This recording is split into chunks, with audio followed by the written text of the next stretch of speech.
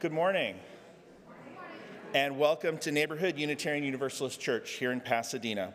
Welcome to all members, friends, and guests here in person and virtually. My name is James Coombs, and I'm a member of your Board of Trustees. Neighborhood Church creates and grows an inclusive community connected by faith, love, and spirit. I'm sorry, love, spirit, and service. Excuse me. I'm all mixed up. Faith community. I'm all mixed up this morning. We acknowledge our presence on the ancestral and unceded territory of the Gabrielino Tongva peoples, the traditional caretakers of the lands and waters of this campus. With respect to the rights and wisdom of Indigenous people, we acknowledge our harmful colonial histories and commit to decolonizing our own practices, to learning new ways of being in community with each other in good relationship with the indigenous people of this land and with the land itself. Today's service is led by Reverend Ann Gardner, with story by Matt Vasco and music by Dr. Zenaida Robles, Wells Lang, and the Neighborhood Church Choir. A minister and freelance writer, the Reverend Ann Gardner currently heads the chaplaincy program at Harvard Westlake, a nearby independent high school.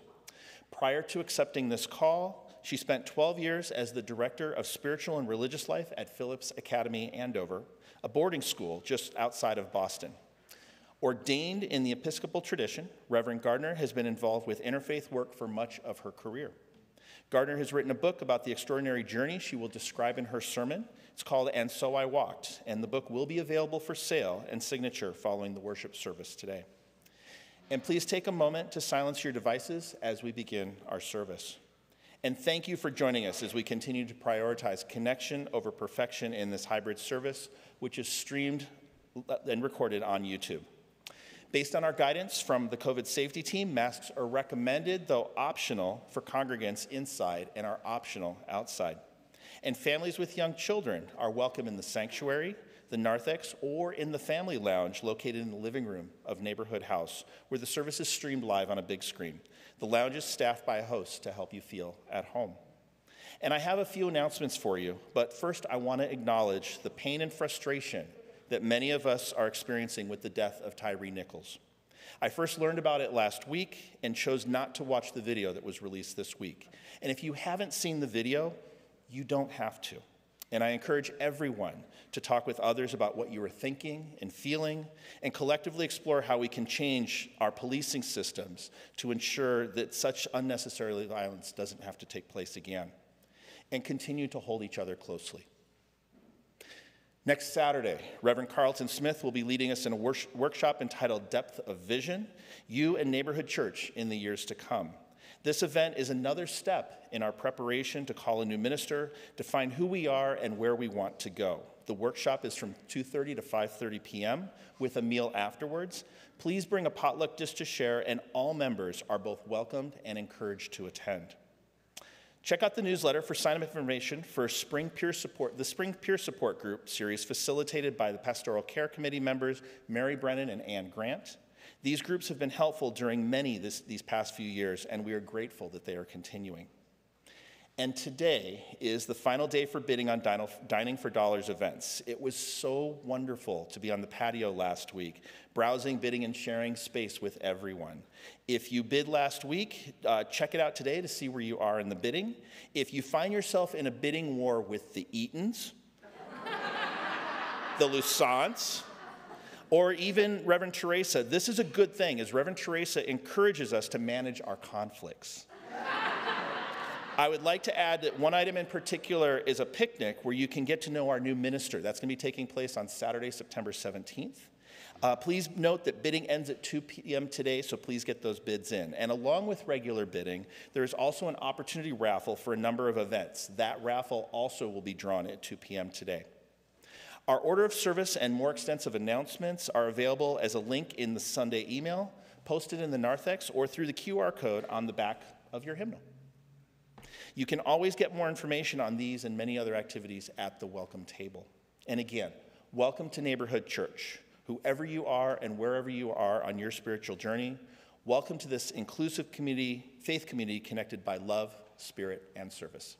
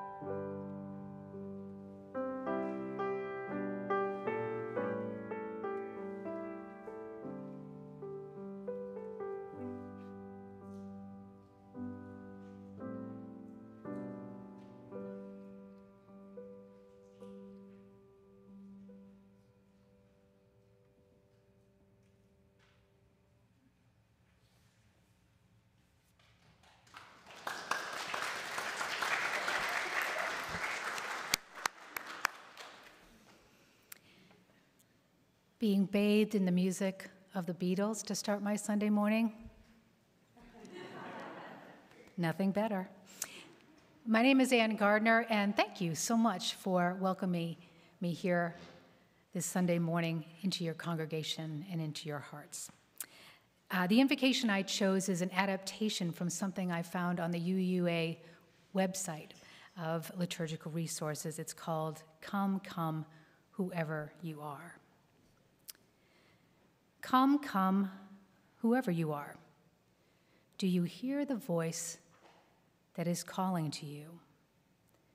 The voice that calls us to a place made holy by your presence and the sacred breath we share in our singing and speaking and silence. The voice that reminds us we are not alone, that we are woven into a vast tapestry of existence of which we are an integral and holy part. The voice that calls us to walk as wanderers, sing as worshipers, and wrap the broken in the arms of our love and community. This morning we are called back again and again to the covenant of justice and humility and faithfulness. For these things we are here together this morning. Come yet again and let us worship. Amen.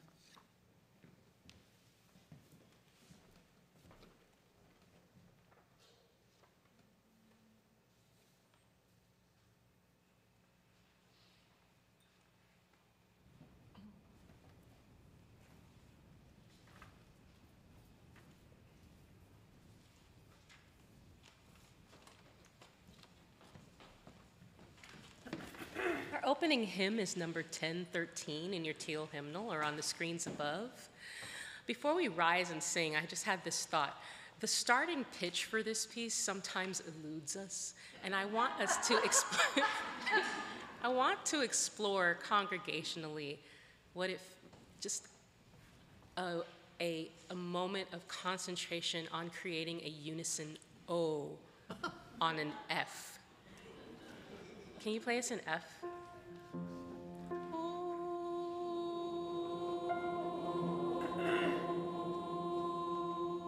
Listen, listen.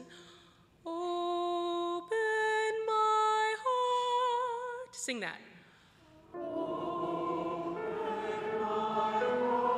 Listen.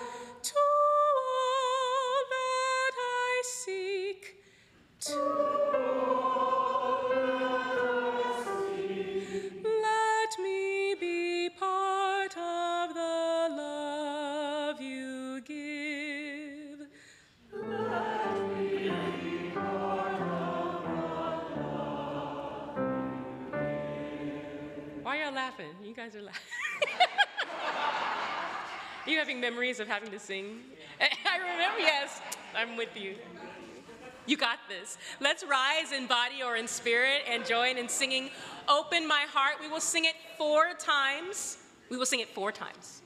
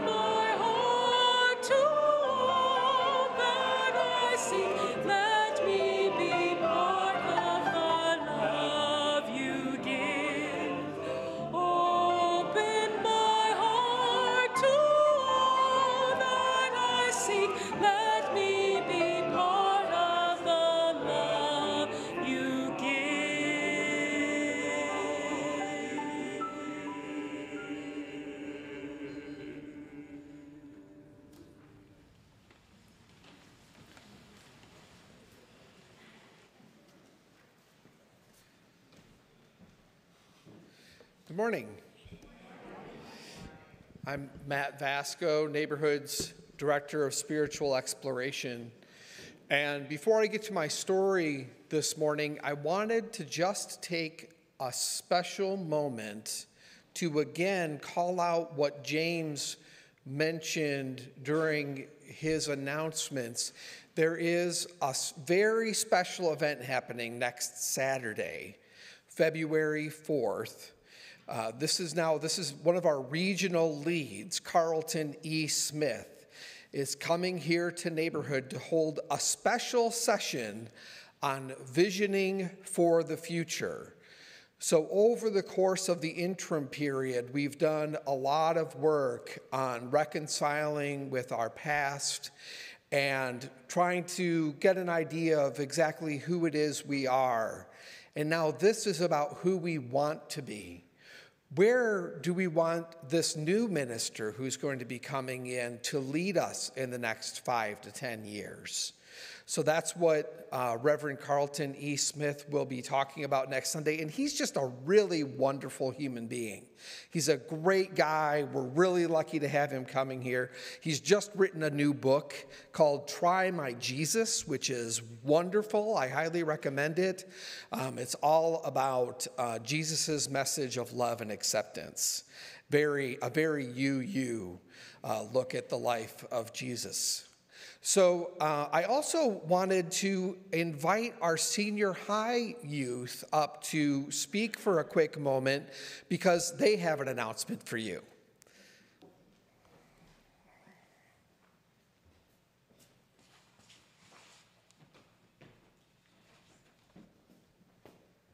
Hello. Happy Sunday. I'm Juke. This is Camelia. We're the uh, co leaders of the senior high group.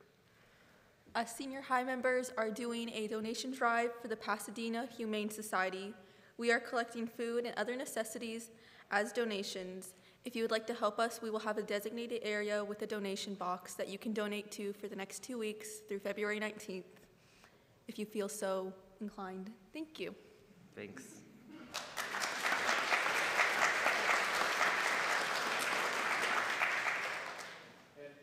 We know lots of the children and youth in our youth spiritual exploration classes are really passionate about animals.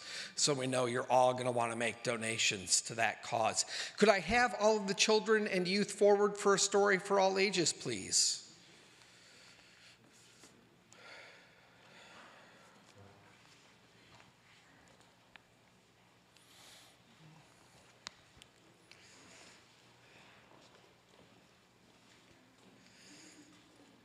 Hi, James.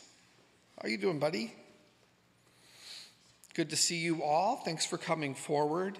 So today's service, read, led by Reverend Ann, is uh, entitled A Journey of Faith.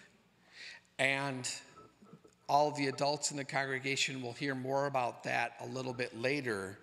But when Reverend Ann told me about the title of her service, it reminded me of a story by author and writer about writing, Anne Lamott, in her book, Traveling Mercies.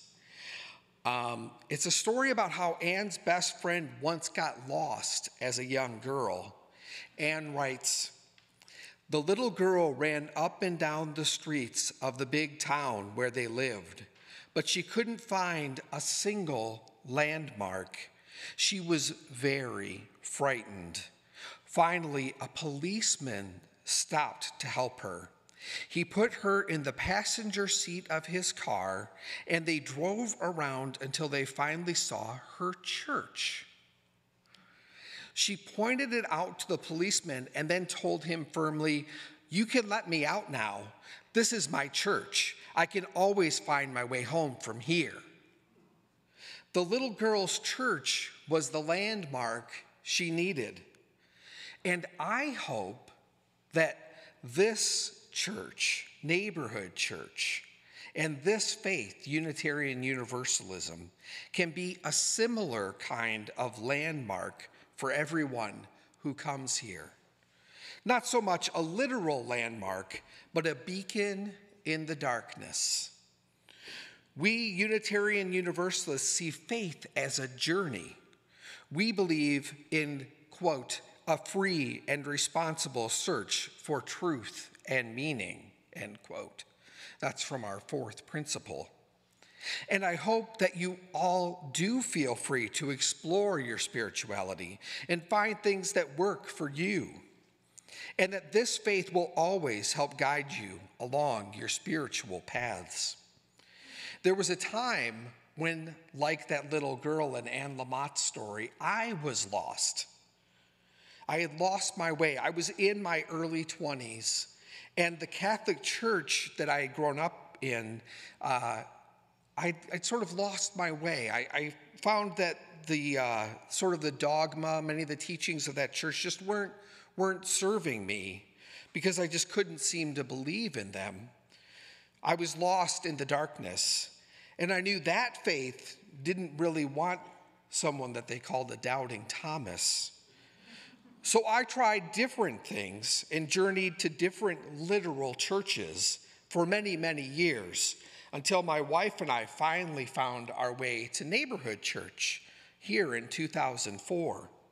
Here, I was free to explore my spirituality while remaining grounded in the Unitarian Universalist principles and sources, like all of you.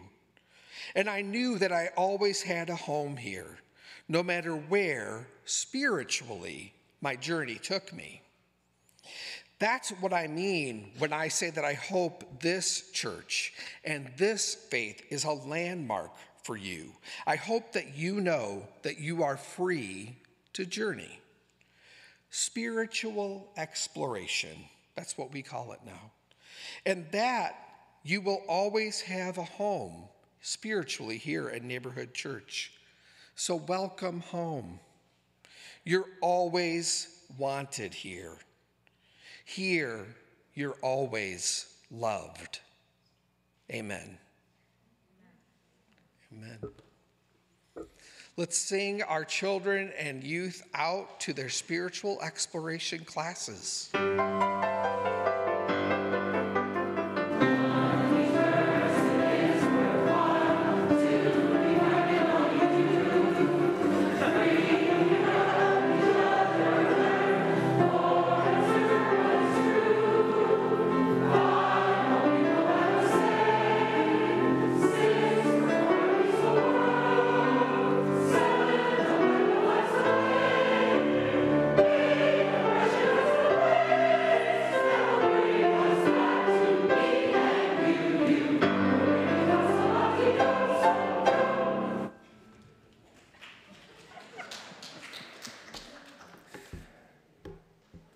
Disclosure to make. I used to think the last word was go, not do, but got it figured out now.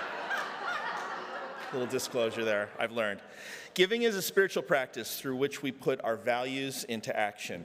Each Sunday, our congregation dedicates 100% of contributions to a local social justice organization or activity. If you're visiting us for the first or second time, welcome. You are our guest, and please let the plate pass you by. In addition to the plate, online giving is available using the QR code on the donations box or just outside the sanctuary using or using the text shown on the screen. If you're a member and wish to make a payment towards your pledge or wish to make a gift, please note in the subject line or use an envelope available at the donation box. And this week, our gifts go to Northeast Trees. Introducing Northeast Trees this morning is neighborhood church member and seventh principle organizer, Peter Eisenhart. Peter?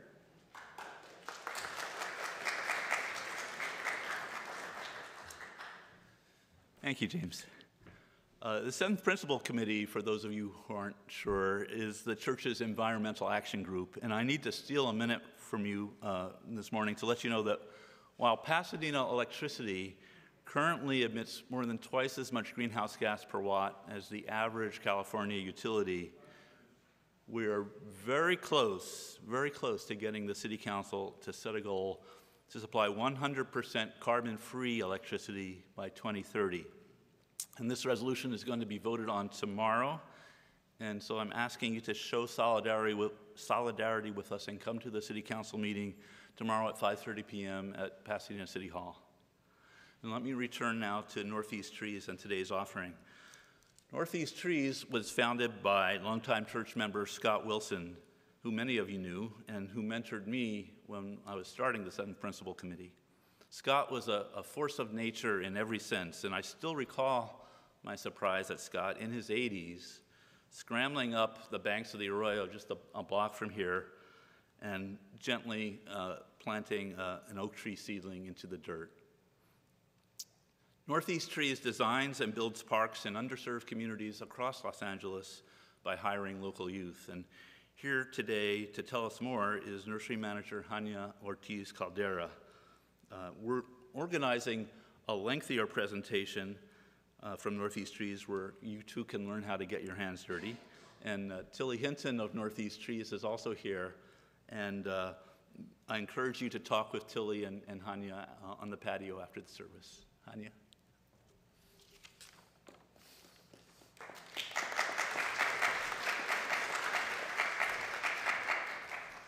Good morning.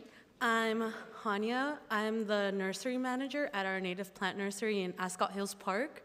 Um, I don't know if any of you have gotten to visit. It is right across the street from Wilson High School in El Sereno. Um, I first started at Northeast Trees about three years ago as an intern.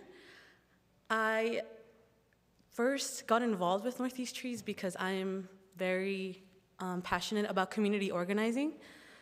I actually didn't grow up going to a church.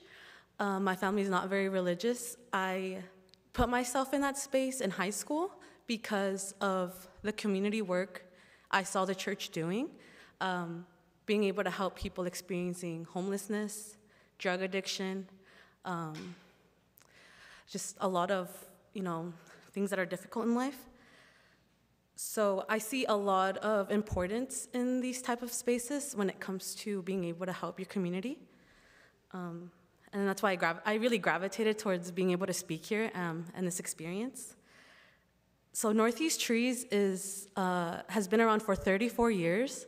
Uh, they do a lot of urban forestry work and um, restoration uh, back to our native ecology. In these 34 years, we have been able to plant 100,000 trees in Northeast LA, South LA, and um, other parts of Los Angeles that have been historically disinvested in. So I am really honored to be here and rekindle um, this relationship between our organization and this church. Um, so thank you to Peter Eisenhart, uh, Reverend Dr. Teresa, Lee Brainhart, Ned Ranson, and Elizabeth Richard Cooley. Thank you so much. Um, sorry, one more thing. Uh, we do have uh, our monthly volunteer event every first Saturday of the month, which is open to any of you if you would like to join us February 4th. We will be planting, and I will be teaching everyone how to propagate native wild rose uh, to celebrate, you know, Valentine's Day. Um, so yeah, uh, well, this is welcome to everybody here. Thank you.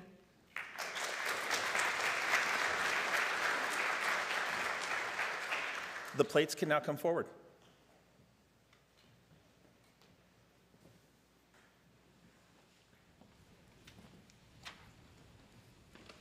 In recognition of this month's theme of finding our center, we sing Choose Something Like a Star with poetry of Robert Frost and music of Randall Thompson.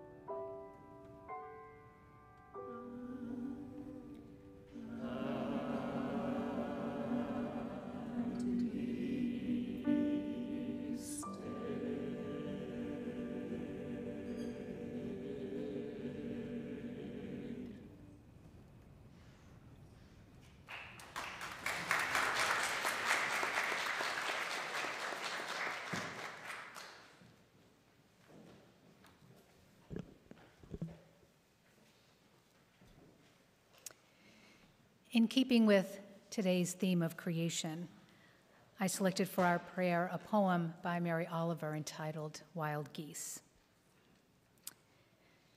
You don't have to be good.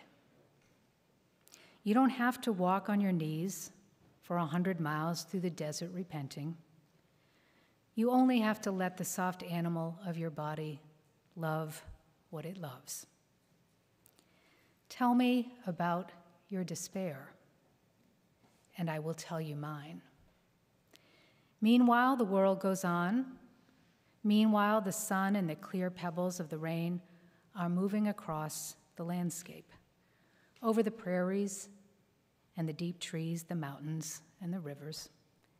Meanwhile, the wild geese, high in the clean blue sky, are heading home again. Whoever you are, no matter how lonely. The world offers itself to your imagination, calls to you like the wild geese, harsh and exciting, over and over announcing your place in the family of things.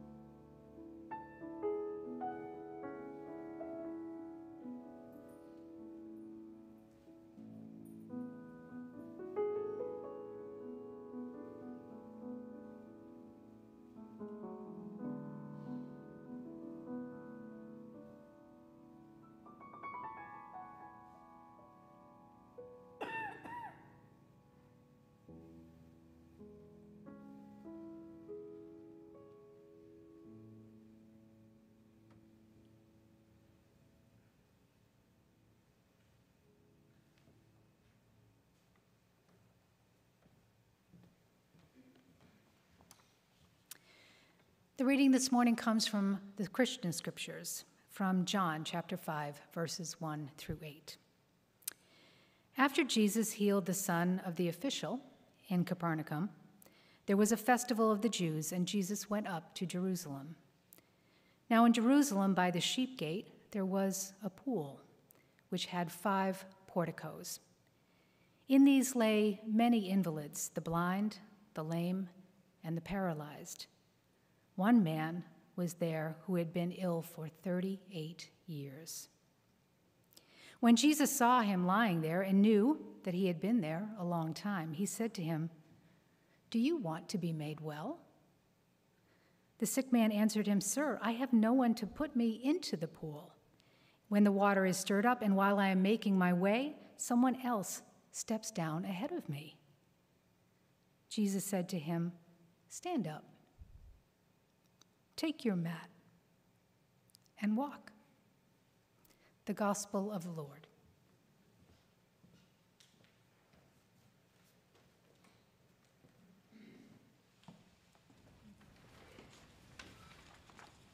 Right from your seats with a posture that is tall and conducive to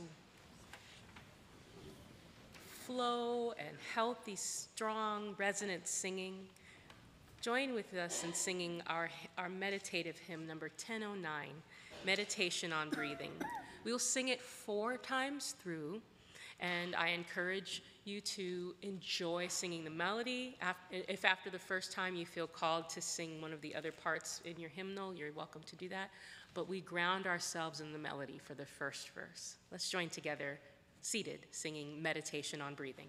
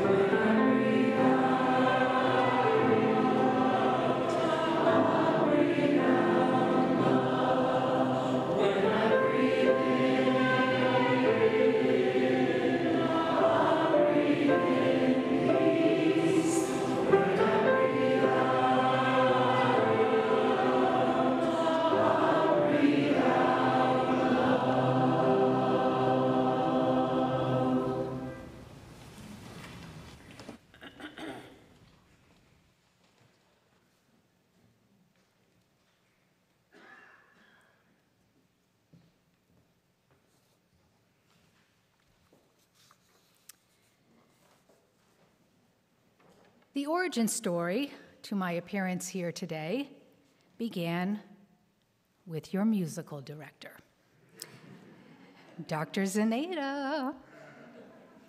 For 12 years prior to my arrival here on the left coast, I served as the director of spiritual and religious life at Phillips Andover, a boarding school located about 20 miles northwest of Boston.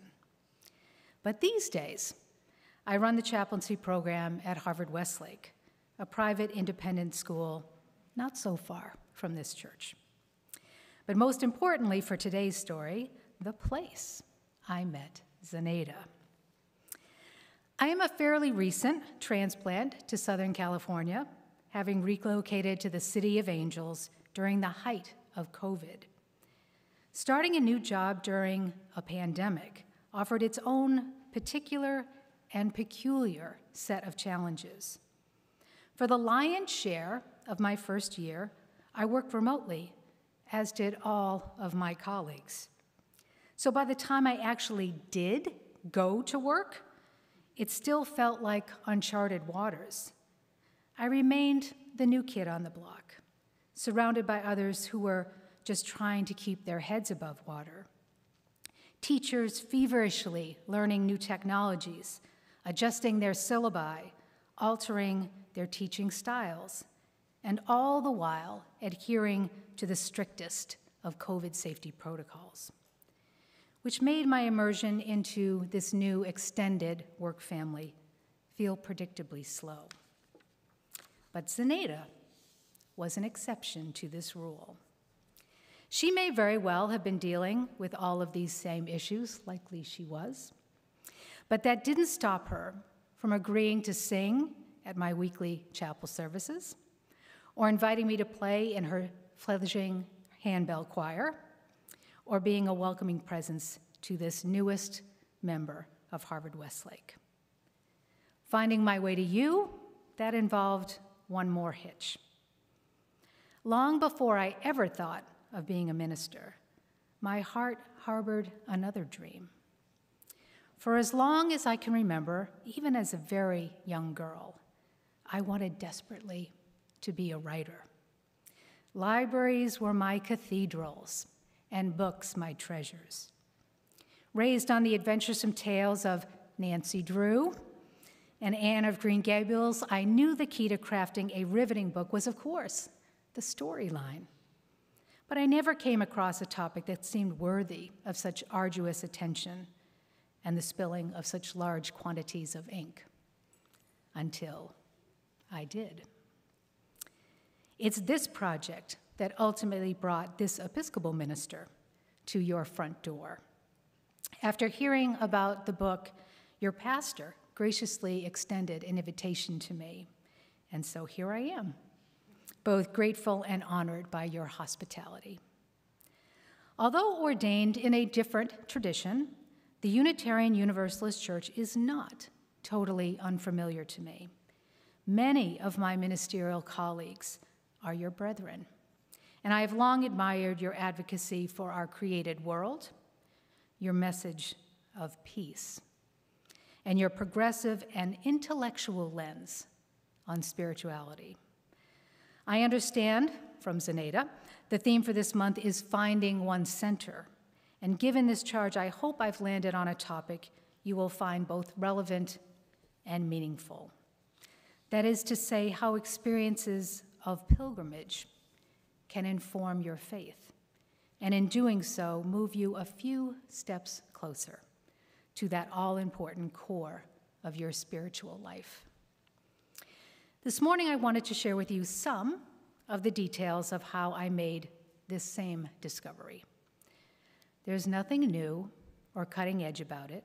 Indeed, it is an ancient practice people of faith have been doing for thousands of years. This particular story begins with a disciple of Jesus, the story of St. James. My first in depth introduction to his rather epic story came, of course, at a cocktail party held by the then head of school of my former employer, Phillips Andover.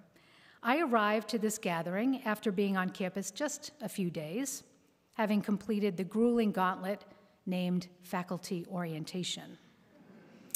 I was shy, I am shy, so parties are not the easiest thing for me. And during this one, I was very much aware of how animated the conversation was that surrounded me, something I experienced very much like the outsider I was. But luckily for me, one of the other attendees quickly came over and introduced herself. And within a few minutes, I discovered she was from Cuba, was a member of the World Languages Department, and was herself a person of faith. And when she discovered I was the new minister, she immediately launched into a lengthy conversation about the Camino de Santiago, a 500 mile path that extends across the width of northern Spain ending at the cathedral in Santiago, where, as Laura would have it, the remains of St. James are believed to be interred. As a lifelong practicing Christian, I was embarrassed to admit to my new friend Carmel that I had never heard of the Camino. Well, that didn't last for long. And a handful of years later, I too would find myself on that same path, walking hundreds and hundreds and hundreds of miles toward that famed cathedral, wondering how exactly this had become my new reality as well. Looking back on it, perhaps I shouldn't have been quite so surprised.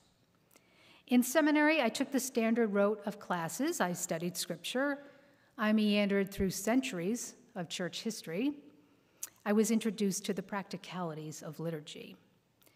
So it wouldn't be out of the ordinary to assume my strongest spiritual connection would be to the Episcopal prayer book, or to the Bible, or to presiding over weekly Sunday services, just like this.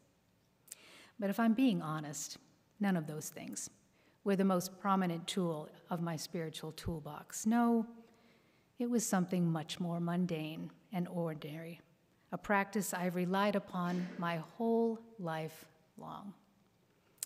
Solvitur ambulando, as St. Augustine once said, or it is solved by walking. I share this trait, of course, with countless others whose stories are recorded in the Hebrew and Christian scriptures. The Israelites wandering in the desert, the transformational moments of the Good Samaritan, the conversion of St. Paul, the return of the prodigal son, all incidences that took place on the side of a road somewhere as the protagonists were making their way from one place to another. Even Jesus himself striding into the desert for some 40 days and 40 nights, with nothing but time and an expansive horizon to help him make sense of his life and his vocation, and of course, what was to come. When I shared this dream of mine, of making the landscape of Spain the backdrop of the next stage of my life, my friends and family were strangely unconcerned about my capacity to traverse an entire country, noting that my legendary stubbornness alone would likely provide me with enough fuel for the journey. They were right. But they did remain mystified as to why I would do such a thing what sort of provocation could possibly lure me into such a punishing crucible? Confused myself, I asked this same question of every pilgrim I met while on the path. Why? I queried. Why are you doing this? Why are you here? And much to my surprise, nearly all of them gave me the exact same answer. My heart is broken. My heart is broken. Some were in the throes of a divorce. Some were grieving the death of a parent. Some longed to revive the relationship they once had had with their children. Some had had their world shattered by drugs or alcohol. Some had lost a job and some were just lost. But a common thread remained this fervent belief that the Camino could somehow heal them, that through the act of walking, the painful and crippling portions of their lives could somehow be exorcised from their hearts. And so I too began to consider if this were my truth as well. The day I reached the apex of the trail, some 350 miles into the pilgrimage, these were the words I wrote in my journal in an effort to capture that transitional moment. When I was younger, I saw the world in black and white, right and wrong, for me or against me. Oh, I had all the answers back then. I was vigorous, but not flexible strong, but brittle. What I didn't fully appreciate back in my salad days were the countless ways in which I would grow stronger with age. I bend now. I play the long game.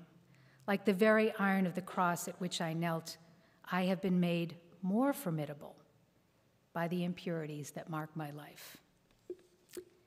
In reading that passage now, so many years later, I recognize many of the same emotional notes found in this morning's opening prayer.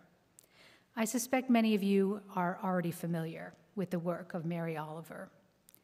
At a time when most poets scribble in obscurity, Oliver found a way to capture so much of our contemporary zeitgeist. Devoutly faithful and a longtime Massachusetts resident, I first came to know of Oliver's work through the adoration of my then bishop. He would often recite lines from her poetry in sermons and during services, and even sometimes in committee meetings. And although poetry was never my thing, Oliver changed that.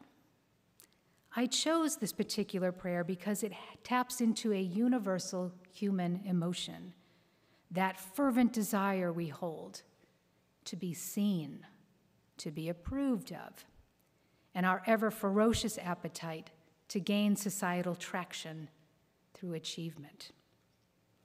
But Oliver, luckily for all of us, she pushes back on that familiar pressure. She gives us some room to breathe. You don't have to be good. You don't have to walk on your knees for a hundred miles through the desert repenting. Tell me about despair, yours, and I will tell you mine. Whoever you are, no matter how lonely, the world offers itself to your imagination, calls to you like the wild geese. Oliver is masterful in her ability to write about the human condition with such insight, with such grace. It's as if the words of her heart, of our collective hearts, effortlessly tumble from her pen onto the page.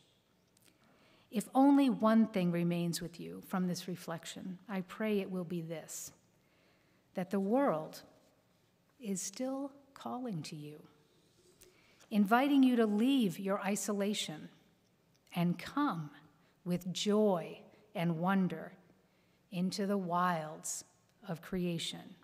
Leave those well trod patterns of critique and appraisal behind. You don't have to be good.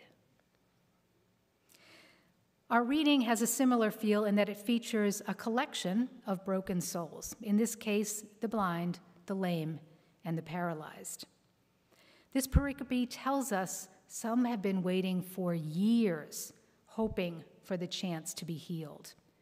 So Jesus, the protagonist of this vignette, takes the bulls by the horn and says to one of the men lying in the portico, Do you want to be made well? Not do you want to have your troubles disappear. Not do you want to turn back the clock and have all of your life rewritten. No, just one narrow and direct question Do you want to be made well?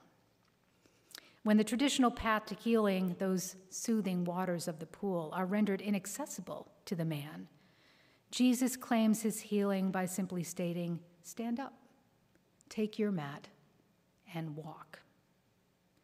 So here's the question I'll leave you with here this morning, particularly given the overarching theme you have chosen for this month of finding your way to what is most meaningful, most authentic, and most holy in your life.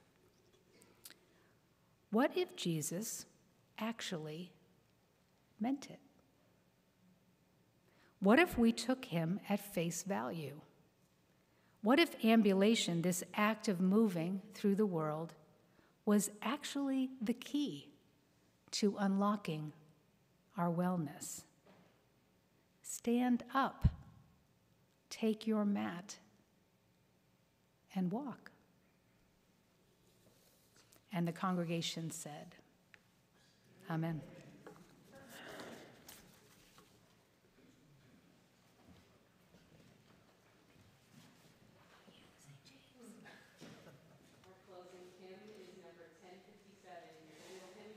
Please rise in body or in spirit and join me in singing Go Lifted Up. We will sing it twice.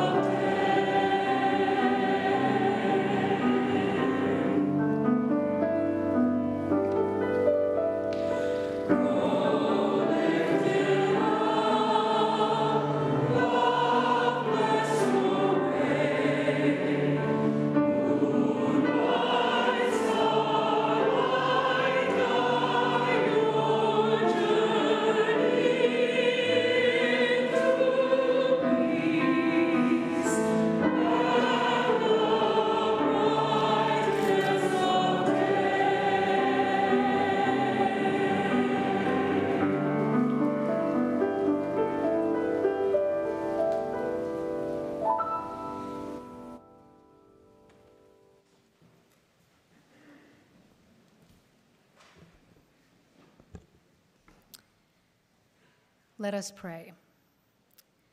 May you leave this time together changed. May the promises you have made to yourself about who you want to be feel closer to the reality of who you are right now. May you share that feeling of transformation wherever you go, and may it spread into every word and deed and thought and interaction until we are all changed, transformed, and transforming together, becoming our better selves. Amen.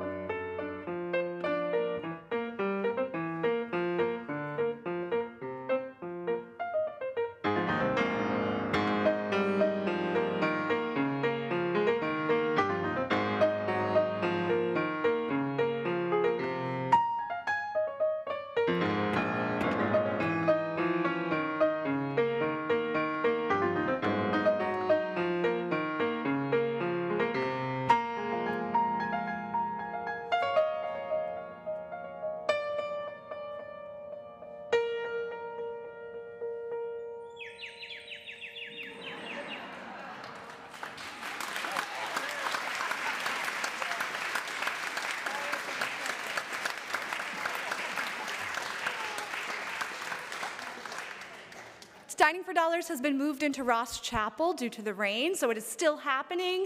Uh, please go check on your bids. We have not disappeared. Head on over to Ross Chapel. Thank you.